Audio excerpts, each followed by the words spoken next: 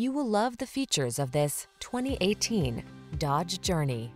With less than 30,000 miles on the odometer, this vehicle stands out from the rest. The Journey delivers powerful performance and family-friendly conveniences like third-row seating to help you make the most of all your adventures. The following are some of this vehicle's highlighted options. Electronic stability control, leather-wrapped steering wheel, trip computer, power windows, bucket seats, wheel covers, four-wheel disc brakes, power steering. Don't compromise on performance to get third row seating. Get into the journey.